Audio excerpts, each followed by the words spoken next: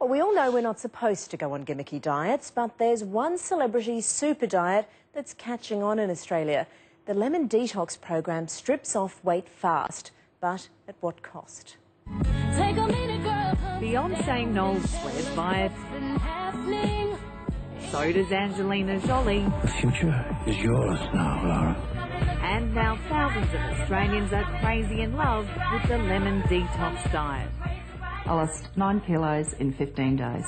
You lose about a, a kilo a day. Tanya Zaetta, uh, Rachel Hunter, there's just so many celebrities that do the lemon detox. Rula Assad is responsible for bringing the product to Australia. It's basically a natural cleansing program. It works with your own natural body's cleansing process. I cannot sing its praises loud enough. Aniko Kiss doesn't usually like looking at herself in the mirror, but since doing the lemon detox diet, she's loving her slim new reflection. Early 2000, and I think I'd crept up to about 115 kilos. And what do you weigh today? I weigh 90. The first time Aniko did the two-week detox, she lost nine kilos. She enjoyed it so much, she's back on the diet again and has already shed three kilos in three days. My glowing skin proves it. The weight loss proves it.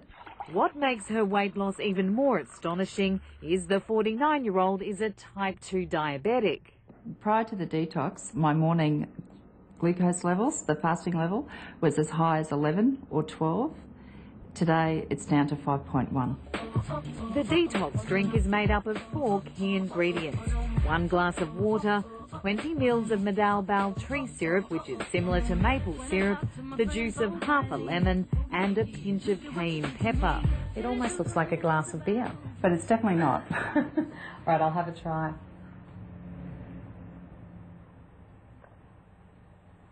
Hmm, it's quite nice. Yeah, it is. Very Very it tastes refreshing. like a citrus drink, really. It does. A sweetened one with a bit of bite.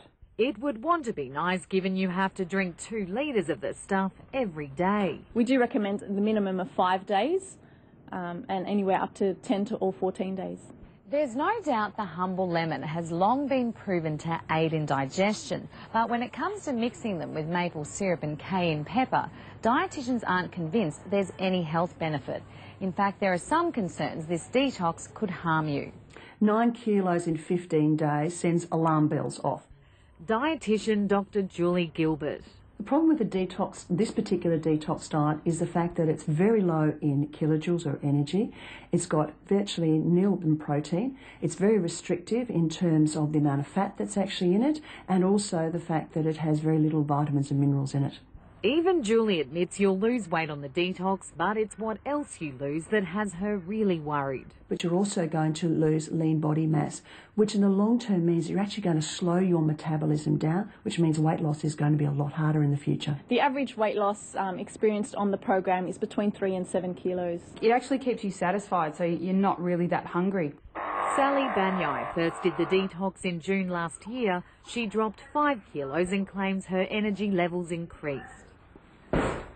By day three, day four, day five, you start feeling really energetic. I think people start to feel good, not because they're actually doing the diet, but because they're actually taking out the foods that were causing the problems in the first stage. But not even a dietitian's professional opinion won't change Sally or Aniko's mind. It makes you realise all your bad habits. I look at myself and know that this is the best health that I've had for a very long time. Would you recommend it to other people? Absolutely, without question.